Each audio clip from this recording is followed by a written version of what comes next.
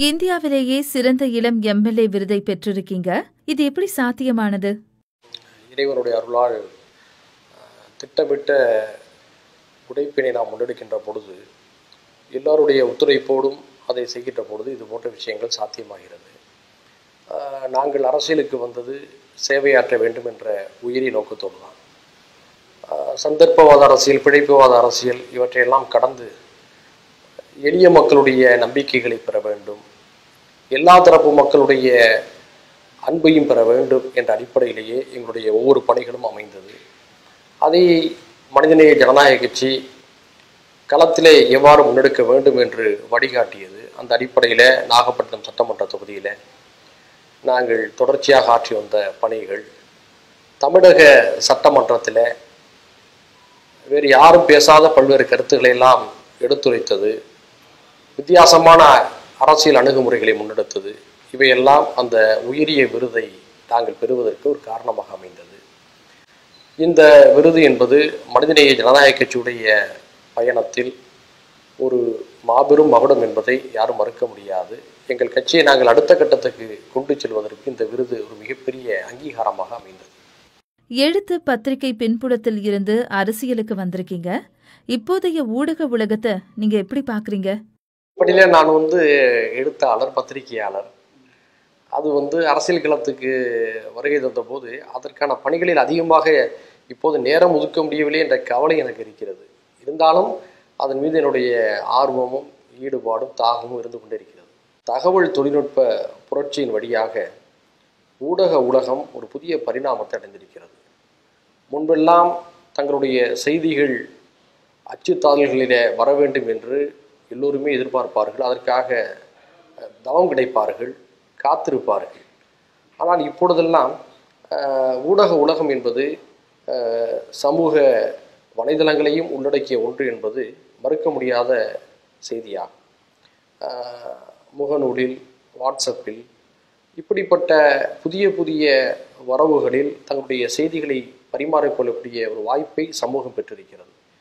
இவற்றையும் உள்ளடக்கிய இந்த ஊடக உலகம் என்பது மிக விரைவாக விரிவடைந்து கொண்டே செல்கிறது என்பதுதான் உண்மை. ஊடகம் என்றால் முதலில் அச்சுத்துறையும் காட்சித்துறையும் மட்டும்தான் இருந்தது. ஆனால் சமூக வலைதளம் வந்த பிறகு அது மிகப்பெரிய ஒரு உலகை எதிர்கொண்டிருக்கிறது என்பதுதான் உண்மை. பலதரப்பினரும் தங்களுடைய பங்களிப்பை எளிதாக செய்வதற்கான ஒரு வாய்ப்பு இன்று உருவாகி இருக்கிறது. முன்பெல்லாம் ஒரு பத்திரிகையில் கட்டுரை எழுதினால் ஒரு வாசகர் கடிதம் வருவதற்கு ஒரு வாரம் பத்து நாட்கள் ஆகிவிடும். இப்பொழுதெல்லாம் அந்த கருத்தை நம்முடைய முகநூலிலோ அல்லது வாட்ஸ்அப்பிலோ பதிவு செய்கின்ற பொழுது உடனடியாக அதை படிக்கக்கூடிய வாசகர் தன்னுடைய உணர்வுகளை கருத்துக்களை வெளிப்படுத்தி வருகிறார். இதெல்லாம் வந்து ஊடக உலகில் ஒரு புதிய பார்வை. முன்பெல்லாம் ஒரு பத்திரிகைக்கு ஒரு ஆசிரியர் இருந்து எல்லாவற்றையும் எடிட் செய்வார். இப்போது அது அதுக்கான வேலையை இல்லாமல் போய்விட்டது. எல்லோருமே எழுத்தாளர்களாக எல்லோருமே ஆசிரியர்களாக வரக்கூடிய ஒரு வாய்ப்பும் உருவாகி இருக்கிறது. ஆனால் அதிலும் கட்டற்ற சுதந்திரம் என்ற பெயரில் தவறான போக்குகள் உருவாவது கவலை அளிக்கிறது. ஒரு நிமிடத்தில் ஒரு மனிதனுடைய நற்பெயரை கெடுக்கக்கூடிய வாய்ப்புகளும் இதில் அதிகமாக இருக்கிறது. அதை சிலரும் செய்து கொண்டிருக்கிறார்கள். அதனால் வரப்பிரசாதமாக கருத வேண்டிய சில விஷயங்கள் இந்த புதிய ஊடக உலகிலே கவலை அளிக்கக்கூடியதாகவும் மாறியிருக்கிறது. இவற்றையெல்லாம் நாம் உற்று நோக்கின்ற பொழுது கட்டுப்பாடற்ற ஒரு புதிய சுதந்திரமும் புதிய புதிய வாய்ப்புகளும் வழிமுறைகளும் உருவாகி இருக்கக்கூடிய இந்த காலகட்டத்தில் முதிர்ச்சியோடு எழுத்துக்களை கையாள வேண்டியது பேச்சுகளை கையாள வேண்டியது மிக அவசியமாக இருக்கிறது. சமூக பொறுப்பும் இதில் அதிகரித்திருக்கிறது.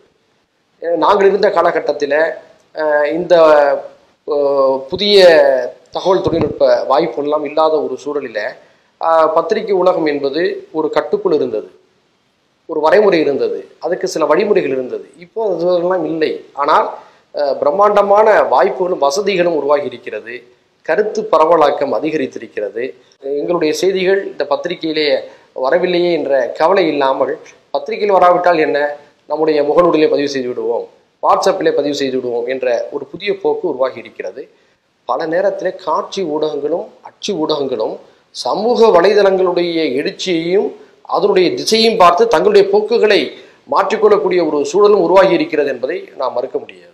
ஊடகங்கள்ல சங் பரிவாருக்கு எதிரான பார்வை உடையவர்கள் வெளியேற்றப்படுகிறார்கள்.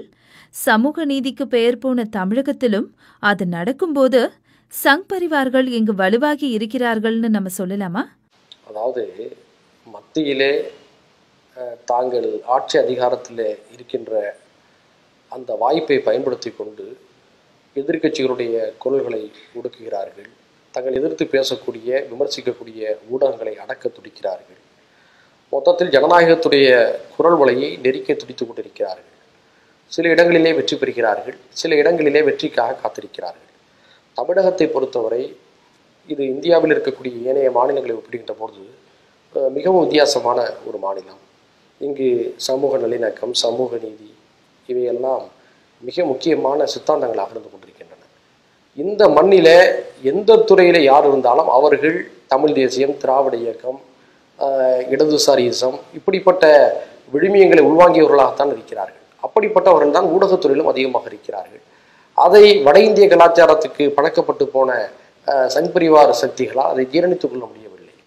முதலிலே ஊடக உலகத்தினரை தங்களுடைய பக்கம் திருப்ப நினைத்தார்கள். ஆனால் தமிழ் ஊடக உலகம் என்பது ஒரு அறிவார்ந்த உலகம். பண்பையும் உயரிய சிந்தனைகளையும் உள்ளடக்கிய ஒரு ஊடக உலகம் நம்முடைய தமிழ் ஊடக உலகம். இவர் அதற்கு ஒத்துவரவில்லை. அதனுடைய விளைவு முதலில் திரு வீரபாண்டியன் அவர்கள் இவருடைய சூழ்ச்சிக்கு பலியானார். பிறகு குணசேகரன் அவர்கள் பலியாகி இருக்கிறார் பிறகு செந்தில் அவர்கள் பலியாகி இருக்கிறார் இன்னும் பலர் நெருக்கடிகளுக்கு உள்ளாகி இருக்கிறார்கள் ஆனால் இவர்கள் இப்படிப்பட்ட கொள்ளைப்புற வழியாக அடக்குமுறைகளை ஏவக்கூடிய இந்த வேலைகளெல்லாம் பார்த்துவிட்டு அறிவார்ந்த தலைமுறையினர் கொதித்து போயிருக்கிறார்கள். பொதுமக்களிடமும் இந்த செய்திகள் பரவி இவர்கள் மீதான வெறுப்பு வளர்ந்து கொண்டிருக்கிறது. மற்ற மாநிலங்களில் அது எப்படிப்பட்ட விளைவை ஏற்படுத்தியிருக்கிறது என்பது வேறு விஷயம். ஆனால் தமிழ்நாட்டிலே இவர்கள் செய்யக்கூடிய இது போன்ற சம்பவங்கள் நெருக்கடிகள் யாவும் அவர்களுக்கு எதிராகவே மாறிக்கொண்டிருக்கிறது. சமூக நீதி சக்திகளுக்கு மதச்சார்பற்ற சக்திகளுக்கு இது ஆதரவாக பெருகி கொண்டிருக்கிறது என்பதை நாம் மறந்துவிடக்கூடாது.